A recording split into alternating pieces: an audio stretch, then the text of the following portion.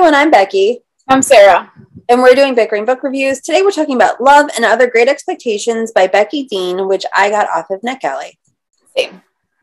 So this book is about Britt Hanson, and she was the star of her high school soccer team. She was all lined up to um, you have a scholarship to UCLA. Everything was set up. Well, she tears her ACL, and then um, she finds out that she has a blood clotting disorder. And um, from there, she's like, basically, basically no sports.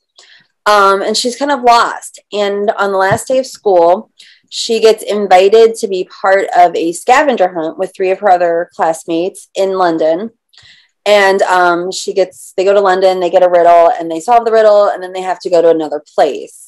Um, on the way, she meets Luke, a cute British boy who's kind of he's not really helping her, but he's just kind of like keeping her company and they spend time together and feelings develop. And that's basically the book. Yeah. Um no, I I enjoyed it. I thought it was fun. I thought taking the trip like I think that it was inconceivable like all of the different like it, it's not realistic the trip and kind of meeting the cute boy and all that like unrealistic, but still fun. It was fun. See, I was totally disappointed by this book. This book to me should be Becky Catnip. But first of all, like honestly, I was surprised in the acknowledgments when the author was talking about all the places that, that she had visited these places because I had visited these places and I was like, I didn't really feel like the setting did it justice. And, and I don't, I don't agree with that. Like, I think that um, I think the setting was I mean, it was surface level, but it was what I expected from a book like this. Like, it didn't. But that's the whole point of the book is where they're going. I mean, I didn't know. In all fairness, I have legitimately been to these places, and they're not described well. I mean, I haven't been to those places, and they were described well enough for me to get the picture. Yeah, I just like I never, I didn't warm up to the characters. I don't know. It just it just felt like it took forever for anything to happen. And I feel bad because I think this is the author's first book. I just, to me, it felt like it wasn't done. It felt like it needed another polish or something. It was slow in places. See, and I, I thought it was fun. I thought it was fast. Um, I liked the main character, Britt. I, it was the the romantic lead Luke needed definitely more development or like a change in who he was because like it didn't make sense like how quickly they got together and oh, like no, no that makes sense. But like there definitely needed to be more development with Luke, but I liked Luke and I liked Britt, like and I liked all of that. I looked I liked, I liked the, the nanny, the babysitter lady. I liked Luke more than Britt. I never complete and I can't I just honestly like i just don't remember like it wasn't memorable like to me i and i usually love travel books i usually love books in london and it just it, it didn't it didn't work for me i mean the cover is appealing i'm sure i'm sure there are people who will enjoy it i just no i definitely could see myself recommending this book like like it was fluffy and it was fun and it it moved fast for me. And like I said, I liked the stories that Britt told, and I thought she was funny.